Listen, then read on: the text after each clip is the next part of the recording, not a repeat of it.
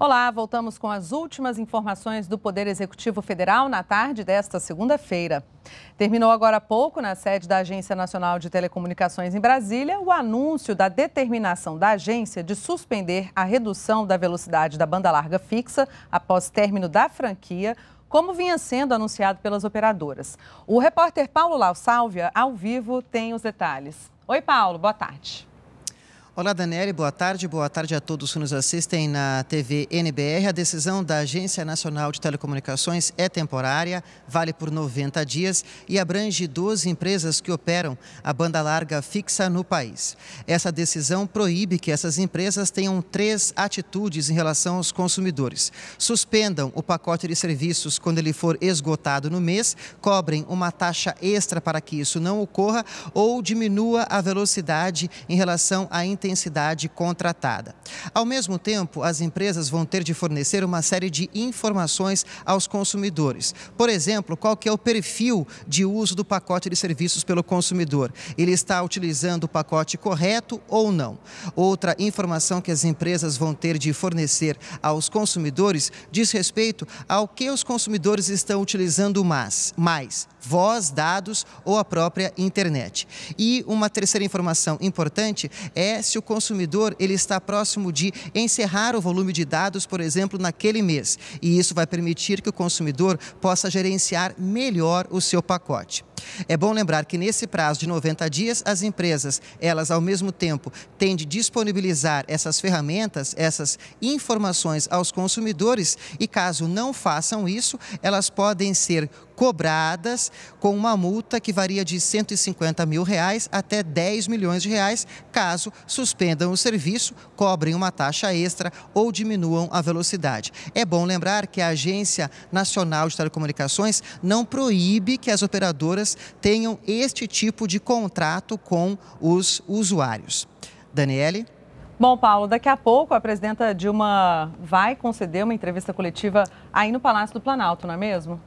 É isso mesmo, Daniele. Essa entrevista coletiva, que também pode ser um pronunciamento, está marcado para as 5 e meia da tarde. Os jornalistas, a imprensa já está posicionada no Salão Leste e a presidenta Dilma Rousseff vai comentar a decisão ocorrida neste domingo na Câmara dos Deputados.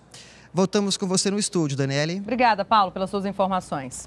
E em nota, o ministro-chefe do Gabinete Pessoal da Presidência da República, Jacques Wagner, afirmou que a instauração de um processo, do processo de impedimento, é um retrocesso.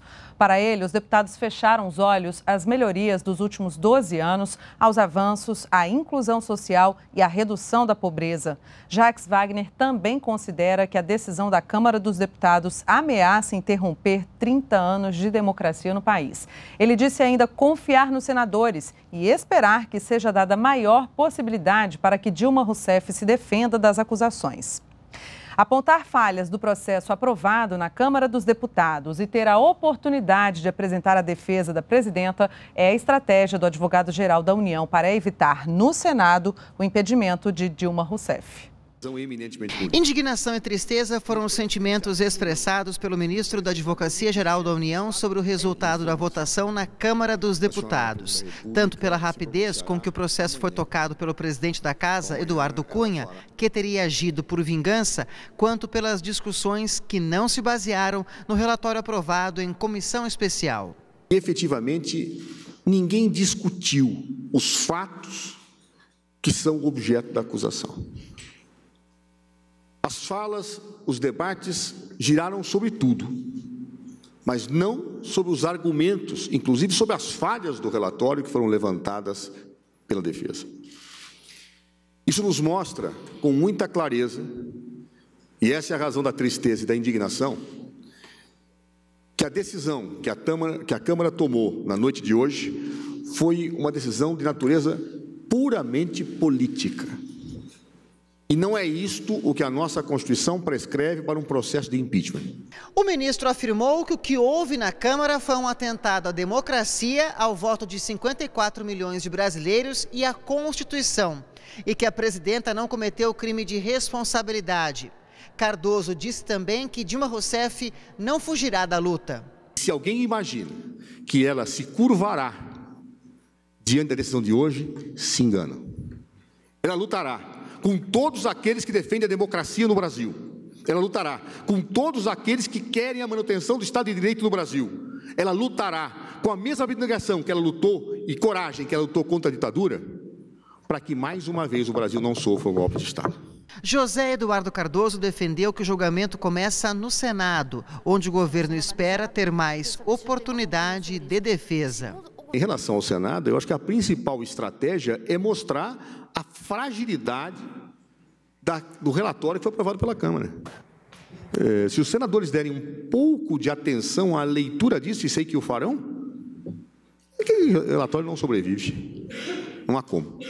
O advogado-geral da União adiantou que o governo não descarta a possibilidade de entrar novamente na justiça quando julgar necessário. A não observância da subsunção, da adequação entre fato e lei. Isso pode ser discutido no impeachment. Nós não discutimos isso no judiciário ainda e podemos fazê-lo na hora em que acharmos que devemos fazer essa discussão. O governo exportou mais do que importou na terceira semana de abril. A balança comercial registrou superávit, ou seja, saldo positivo de 925 milhões de dólares. No mês, as exportações somam mais de 8 bilhões de dólares e as importações 5,7 bilhões.